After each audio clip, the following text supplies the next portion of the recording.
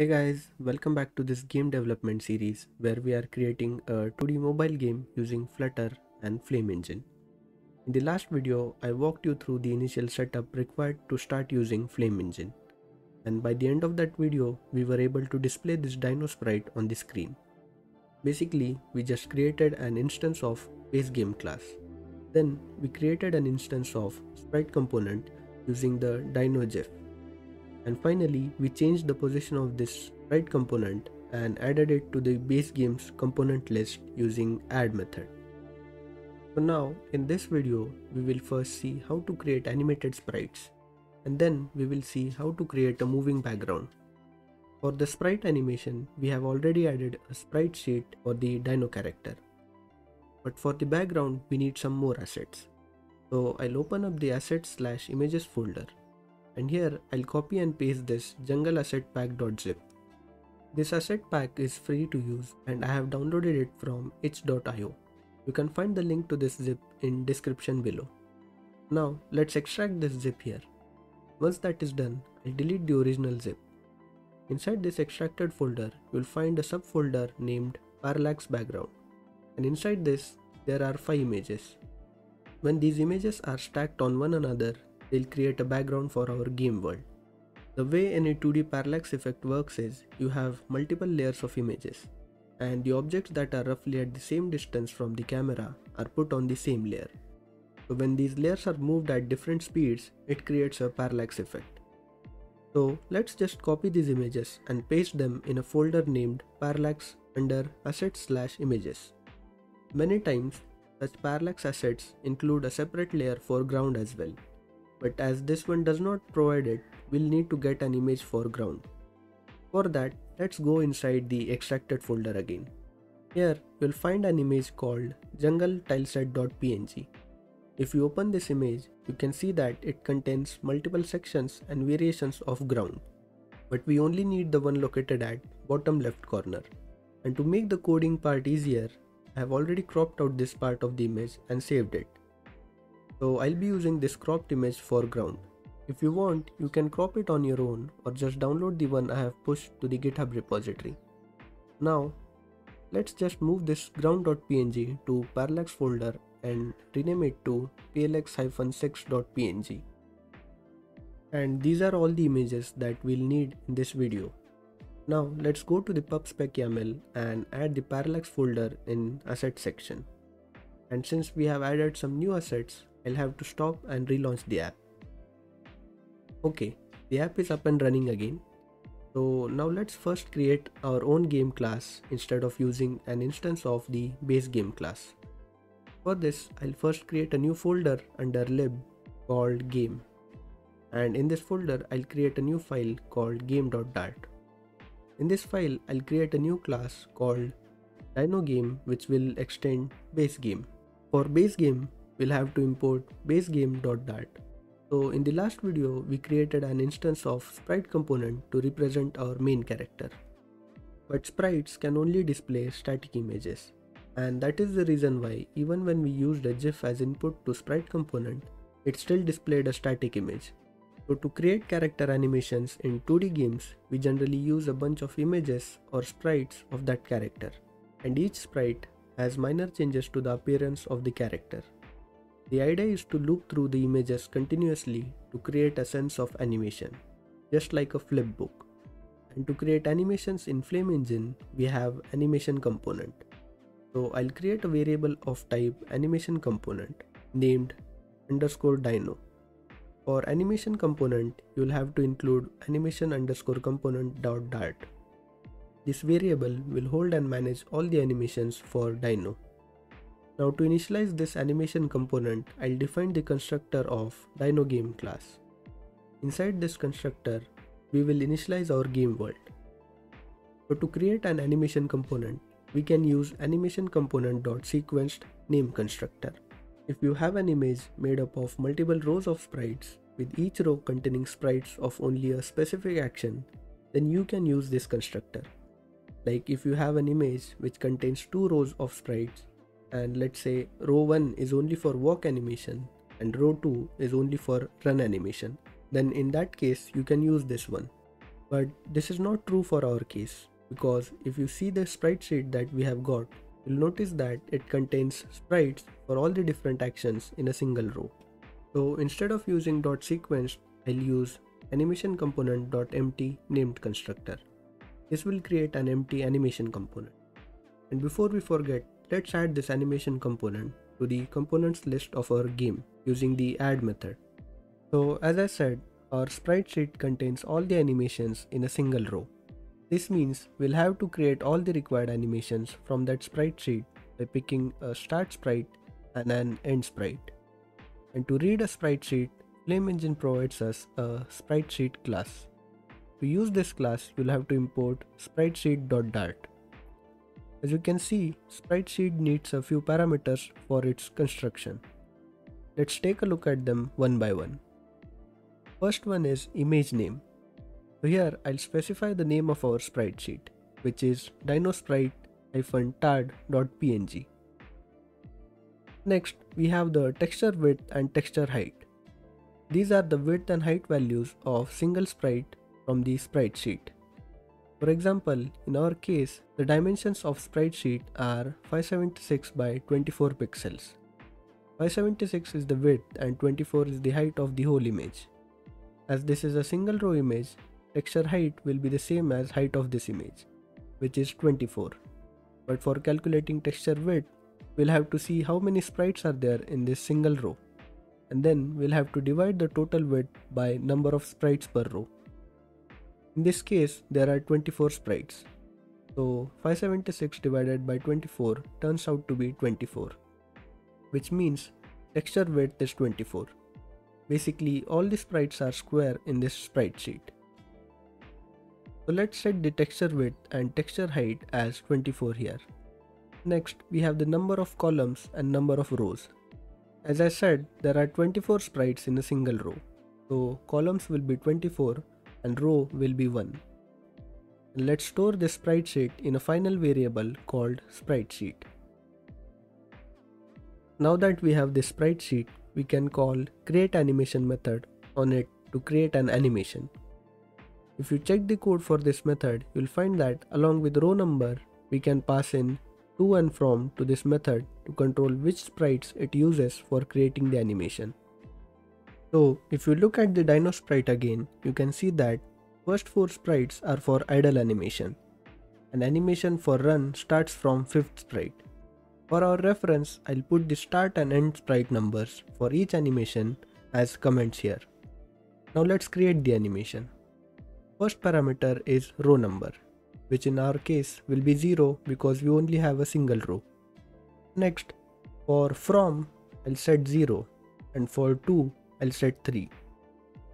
And finally, let's set the step time to 0.1. This is the time in seconds for which each frame of this animation will be displayed on screen. There is one more parameter to specify if the animation should keep looping or should it stop after playing once. As we need it to be looping, which is the default value anyways, I'll not set it explicitly. Let's store this animation in a final variable called idle animation. And now we can set this idle animation as animation property of Dino. Let me bring up the emulator so that we can see this animation in action. And before performing hot restart, we'll have to change the code written in main.dart. So here, base game will now become Dino game. And now we can remove this code that we wrote for creating and adding sprite component. All this now happens inside constructor of Dino game. Let's remove these unused imports as well. Now let's hot restart to see the changes. And we get nothing on the screen. This is because I forgot to set the width and height of the animation component. So I'll set both of them to 80 for now. And now if I hot restart the game, we'll see that dino with idle animation. But we want the dino to be running.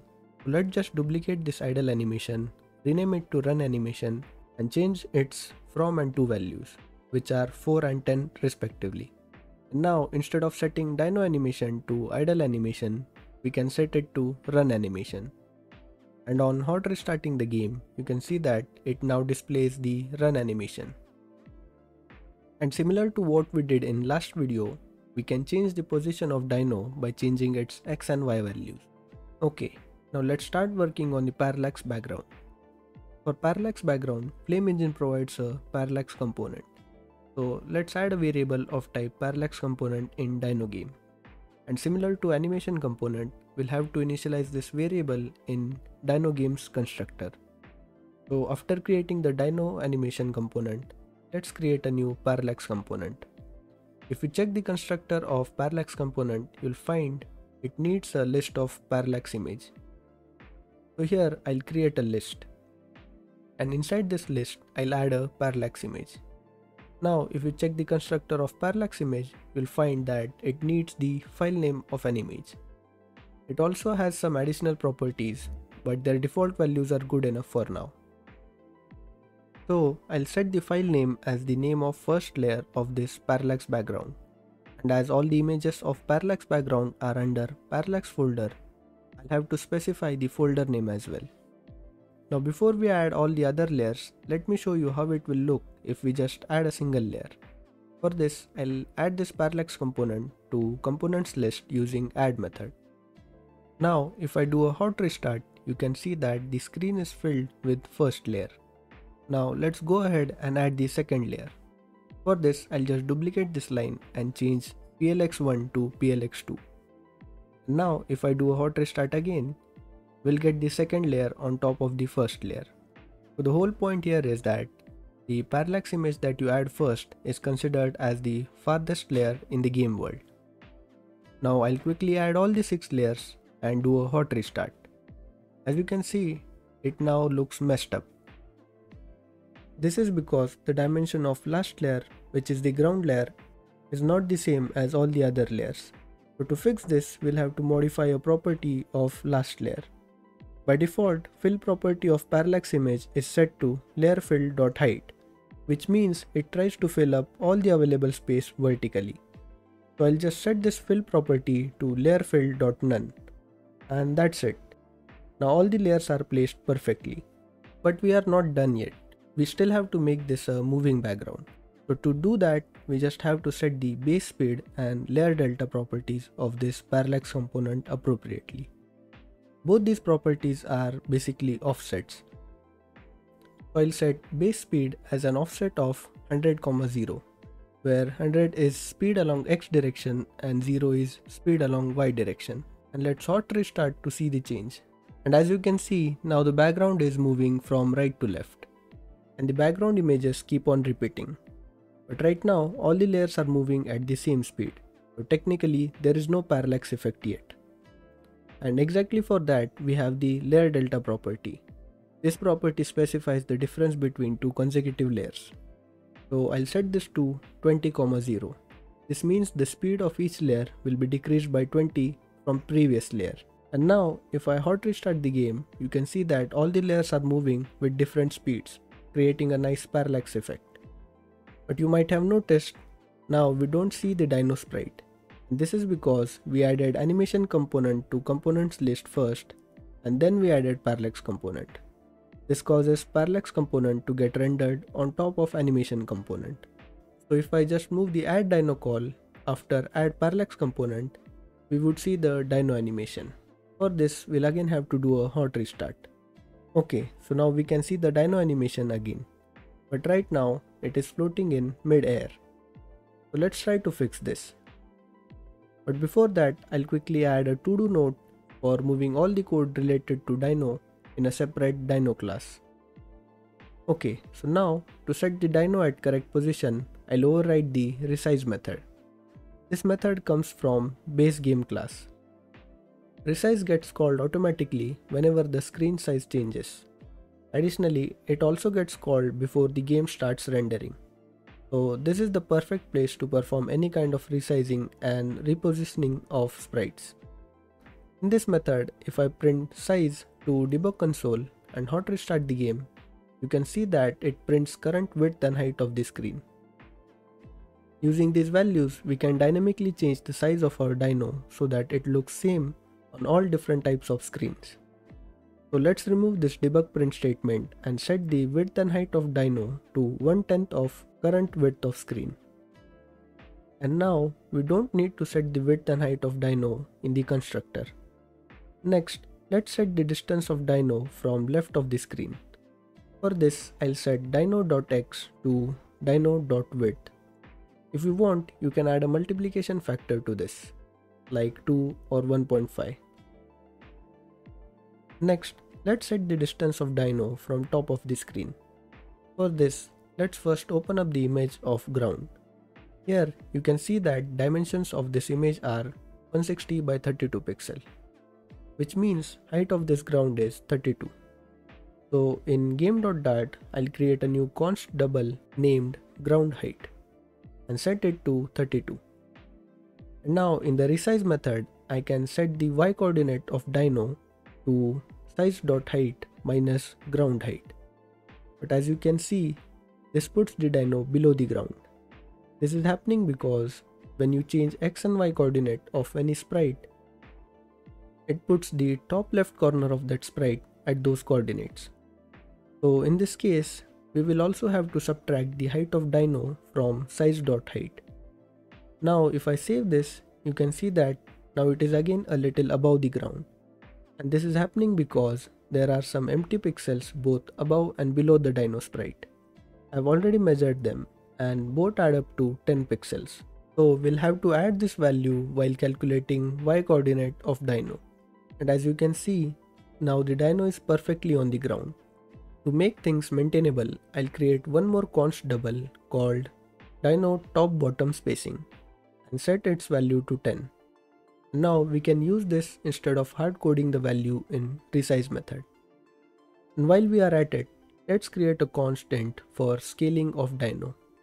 I'll call this one as number of tiles along width because by dividing by 10 we are essentially saying that we want size of dino to be such that we could fit exactly 10 dinos along the width of the screen. And that is all for this video. We now have a working parallax background and dino animation.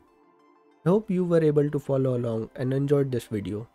If you have any questions, you can put them in the comment section below. To get the latest code for this project, check the GitHub repository linked in the description. All that being said, if you liked the video, do hit that like button and consider subscribing for more such content. I hope to see you in the next one.